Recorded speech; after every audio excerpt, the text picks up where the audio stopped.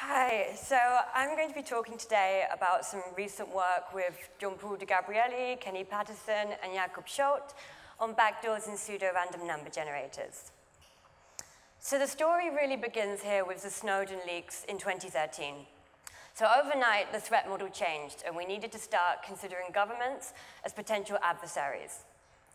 Now, among the Snowden revelations was evidence that the NSA had colluded with software providers to insert backdoors into their cryptographic software. So when we talk about a backdoor, we mean a deliberate vulnerability in a scheme coupled with some secret backdoor information. And it's designed in such a way that if you don't know the backdoor, the scheme appears to be secure and doing its job. But if you do know the backdoor, then you get some advantage in subverting the scheme. Now, a good source of randomness is essential for many cryptographic applications. And correspondingly, a pseudo-random generator or a pseudo-random number generator with input is pretty ubiquitous in cryptographic implementations. And we'll define both more formally as we go through. But the key difference is that a PRG is deterministic, whereas a PRNG is able to gather entropy from its operating environment. Now, it's the ubiquity of these primitives and implementations, coupled with the fact that often if the source of randomness fails, then the security of the scheme which is relying on it crumbles as well, which makes these very attractive targets for attackers. Sorry, okay, so um, it makes these very attractive targets for an attacker who might wish to optimize um, the impact and the spread of a backdoor. And this isn't just conjecture, we know this has really happened with the infamous Dual EC, which achieved widespread deployment and has been shown to be exploitable in practice, and which more recently reared its ugly head again in the Juniper firewalls. Thank you. Okay, so in 2014, Bellare, Paterson, and Rogaway revamped, revamped the field of kleptography for the post-Snowden world and in the uh, process kickstart a whole new line of theoretical research into this area. And it's very much into this strand of work that ours fits. Now, in particular, the first post-Snowden treatment of backdoor PRGs was by Dodis et al. in 2015. And we take this work as our jumping off point here. So the question we seek to explore is, to what extent can a pseudo-random number generator be backdoored and simultaneously provably secure. So to this end, we strengthen existing results on backdoored PRGs, and we initiate the first study of backdoored PRNGs with input. So we come up with definitions and models. We present a construction of a robust backdoored PRNG, and we have an impossibility result, this theoretical lower bound, which links the so-called backdoorability of a robust PRNG to its state size.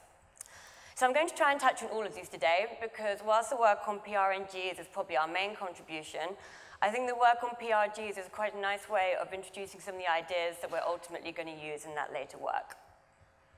So what is a PRG? So a PRG takes a short, truly random string as input, and outputs pseudo-random bit strings of arbitrary polynomial length. And we modify the syntax slightly here to facilitate our backdooring definitions.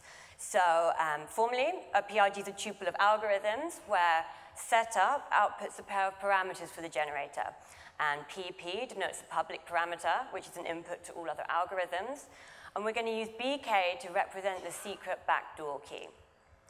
Now, init outputs an initial state for the generator S0, and next takes as input the current state of the generator and returns a public output R and um, an updated state S prime. And you can see it's essential that the state is kept secret because any attacker that knows a state has everything they need to be able to compute all future output. Now, when we talk about PRG security, well, at the very least, we want these outputs to be indistinguishable from random bit strings. But we're actually going to be interested in PRGs with a stronger property, which is that of forward security. So forward security says, suppose at some point in time, the state of your generator gets compromised. Now, clearly, all bets are off about future output, but what forward security asks is, can previous outputs remain secure and pseudo-random, even conditioned on knowledge of the state? So now to backdoored PRGs, which we define in line with the definitions given by Dodis et al. in their paper. So our backdoor PRG is a tuple of algorithms with setup, init, and next, just as before, But now we add this new algorithm B, which is highlighted in red, where B stands for Big Brother, and this models our backdoor adversary.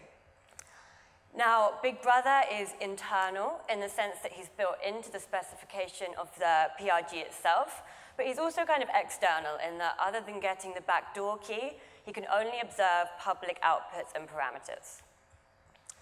Now, there are various different ways that Big Brother might seek to benefit from a backdoor. So for each of these different backdooring goals, we write a game which captures that goal, and an advantage term to measure how well Big Brother does. And we'll see an example of this in a couple of slides' time. So putting it all together, we say our tuple of algorithms is a backdoored forward secure PRG of a given type. If without knowledge of the backdoor, the algorithms form a forward secure PRG, but Big Brother, with his backdoor key, gets some advantage in subverting the scheme. So the authors in the paper from which we take our definitions present a number of different constructions of backdoor PRGs. However, none of these allow Big Brother to recover past output values while simultaneously being forward secure. And when you think about it, the two seem kind of at odds, right? Because forward security is all about protecting past outputs, and we want to subvert them. So this is an open problem. Can these two properties coexist? And it turns out the answer is yes, they can, and even worse. So we come up with a new backdooring model in which we initialize the generator with some state S0, then we run the generator forwards to produce Q outputs. Then Big Brother is given one of those outputs, just one, and the secret backdoor key, and he, we challenge him to recover the very first state of the generator. And you can see this is a very strong form of compromise because with the first state, he can compute everything that happens subsequently, and you can actually show that this is strictly stronger than any of the models given in the paper by Dodis et al. Now we come up with a couple of constructions of PRGs which achieve this, but I'm going to talk about one in particular today because we're ultimately going to use a similar trick when we backdoor a PRNG.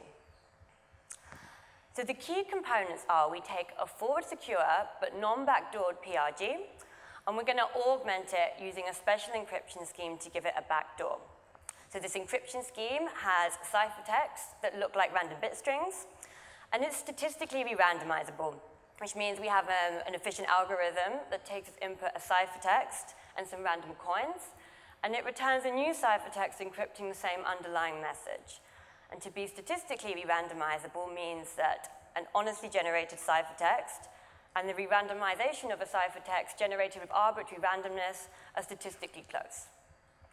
Now in the full construction, we need the scheme to have a few extra properties that I'm not really going to touch on here, but it can easily be seen to be achieved with ElGamal with carefully chosen encoding schemes. So for the construction, we begin by simply generating the parameters for the underlying PRG and the encryption scheme. And we make everything public except for the secret decryption key, which perhaps unsurprisingly we're going to keep back and give to Big Brother. So to craft the initial state of our backdoored PRG, we begin by generating a state S0 for the underlying PRG, which we then encrypt. And it's these two components together which form the state of the backdoored PRG. So when next is called, we need to do two things. We need to produce output, and we need to update the state. So to produce output, we simply output the ciphertext in the state as it is, and then to update the state, we call the underlying PRG on S, update the state accordingly, and use the output produced to re-randomize that ciphertext in the state.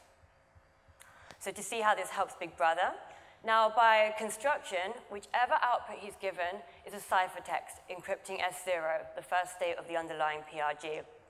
I'm glossing over details here, but essentially this gives him everything he needs to be able to reconstruct the first state of the backdoor PRG, and in the process, all other states and outputs. Now, the, encryption, the correctness of the encryption scheme ensures that Big Brother succeeds with probability 1, so this is a very effective backdoor. And due to the properties of the encryption scheme, all of these ciphertexts appear pseudo-random and independent of each other. So uh, the forward security follows from this, and the fact that the underlying PRG itself is forward secure. So at this point, we're kind of forced to conclude that unfortunately deterministic PRGs are totally susceptible to backdooring. Um, it's hard to think of a much more devastating form of compromise than that that we've just seen. So it makes sense at this point to turn our attention to PRNGs of input. both because they're widely deployed in practice, but also because intuitively you feel that this flow of entropy into the system is going to make Big Brother's job harder. And it turns out it does, to an extent. So what's a PRNG? We define PRNGs in line with the model given by Dodis et al. in their 2013 paper. So essentially, a PRNG is a deterministic PRG with a refresh procedure added. So refresh is an algorithm that takes as input the generator's state and some entropy input i, and it combines these to produce an updated state as prime. Now, these entropy inputs are gathered from a source of randomness which may be imperfect. In the real world, this, they'll be drawn from things like disk timings and keystrokes. So to model this process, we use an algorithm D, which we call the distribution sampler. And in particular, the addition of this refresh algorithm means that we expect a good PRNG to be able to recover from state compromise provided sufficient entropy then enters the system. So to capture this, the strongest security notion um, for PRNGs is that of robustness. So here we imagine a scenario where we set the generator running and we flip a bit B, which determines whether the adversary will see real or random outputs. Now, in contrast to the PRG setting, where the adversary is passive and can just observe outputs, here we give him a number of oracles which reflect different ways in which he uh, might compromise the state of the generator or influence its entropy source. And what robustness says is that even in the face of all this compromise and all this interference, no bounded adversary can work out what that challenge bit is much better than guessing. So this is a very strong security property. Now, the authors in the paper from which we take our definitions present a construction of a provably robust PRNG with input. And conveniently for us, it has output which is produced by a deterministic forward secure PRG. So all we need to do is swap this with the backdoored one that we've just spoken about, tweak the entropy accumulation a bit, and we immediately obtain a PRG of input which is backdoored in the sense that now Big Brother can take one output and he can compute everything going back to the previous refresh call and everything up to the next refresh call. But there's a snag here, right? Because as soon as the generator is refreshed with sufficient entropy, the state is going to evolve to something which is statistically unpredictable, and Big Brother is going to need to capture another output in order to regain his backdoor advantage. So it becomes clear that if we're going to backdoor a PRNG in any meaningful kind of way, we need to be able to move past these refresh calls. This motivates our backdooring models. So the scenario we imagine is a PRNG is initialized with some state S0. Now S0 is then evolved via a sequence of refresh and next calls, which we record in a refresh pattern. And ultimately, we're going to use this pattern as a parameter of the experiment.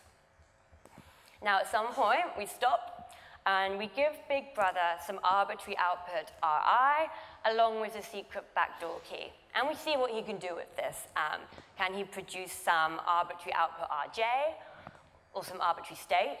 Or can he do even better and go all the way back to the beginning, computing everything as we were able to in the setting of deterministic PRGs? So we present a construction of a robust PRNG of input which allows Big Brother to recover arbitrary past outputs even when they are separated by these refresh calls. So the key components are we take a robust but non-backdoored PRNG, and again, we're going to augment it using our special encryption scheme. So to construct the initial state, we generate a state S for the underlying PRNG, which is shown in yellow here. And you can think of this as the active part of the state of the backdoored PRNG, because we're then going to add to it a whole lot of redundant space, which is shown here in blue. And we're going to use this space to store encrypted snapshots of the active part at crucial points during its evolution, namely after refresh calls. So at a given point in time, the state of our backdoor PRNG is going to look like this, with um, a set of encrypted snapshots stored in the state.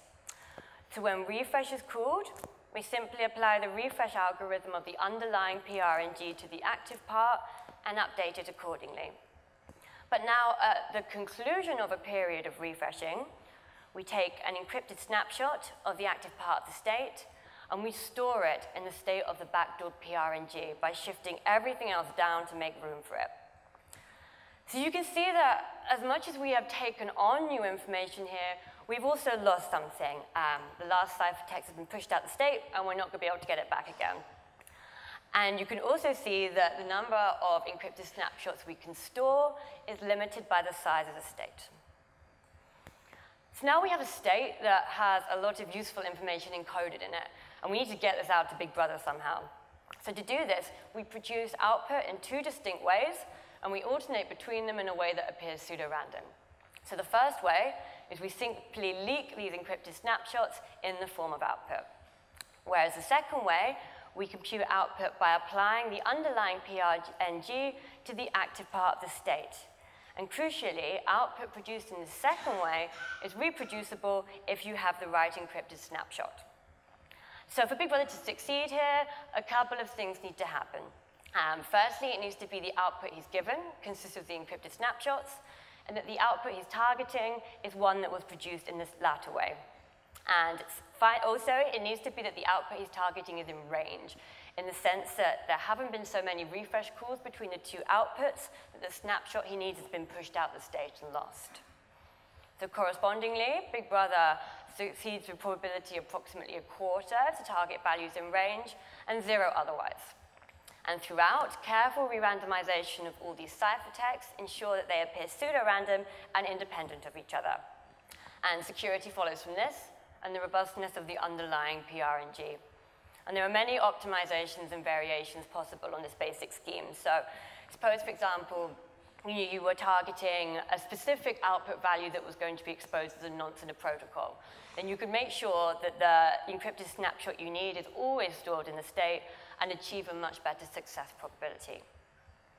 Now, in reality, as you can see, the situation is not quite so simple. And that's because robustness is such a strong security guarantee that to be able to give the state all this extra structure and still prove the generator robust takes some quite delicate work. But it's possible, and so we're forced to conclude that, unfortunately, PRNGs are also susceptible to backdooring, and even the really strong property of robustness is no guarantee against this. But there is some glimmer of hope here, because you'll notice that our backdoored PRNG has a very large state, and that Big Brother's ability to go back is fundamentally limited by the size of the state. So this raises the question of, is this somehow inherent? And it turns out that the answer is yes. So in our impossibility result, we proved that for a restricted but still important class of distribution samplers, that there's a limit, dependent on the state size, to how much information about previous states even an, an unbounded adversary can recover. So to give this equation some context, we're imagining a scenario where we run the generator, Big Brother's given some output R, and we challenge him to recover not just one previous state this time, but a vector of J states, each of which has been separated by a high entropy refresh. So that's the left-hand side of this equation. And because min entropy measures how difficult it is for an unbounded attacker to predict something, if Big Brother, who is bounded, is going to stand a chance, the left-hand side is going to need to be very small. Now, making Big Brother's life more difficult, on the right-hand side, the epsilon term corresponds to the level of robustness security of the generator. So if the generator is robust, epsilon is going to be very small, and the log of its reciprocal is going to be very large. And even worse, this large term scales linearly with j. So the more refreshes we ask Big Brother to try and bypass, the larger and larger this term gets. Now the only thing making the right-hand side smaller is this minus n term, where n is the state size of the generator. But of course, this is fixed from the beginning. So as we ask Big Brother to go back further and further, and j continues to grow, at some point, it's going to hit a wall where the right-hand side is simply too large and Big Brother hasn't got a chance of being able to recover the information that he wants. So in conclusion, the bad news is that despite their strong security properties, both forward secure PRGs and robust PRNGs of input are both susceptible to backdooring. But the better news is that robust PRNGs do offer some inherent resistance. So in the full version of the paper, we have strengthened our impossibility results to get bounds on recovery of past output values and prediction of future output values. And avenues for further work would be to consider immunizers, so ways in which we can post-process the output of the PRNG to try and diminish Big Brother's advantage. Um, it would be good to have tighter bounds for our impossibility results. And perhaps most importantly of all, we know robustness isn't enough, but can we find another property of PRNGs which excludes the presence of a backdoor? So that's the conclusion of my talk. Thank you for listening.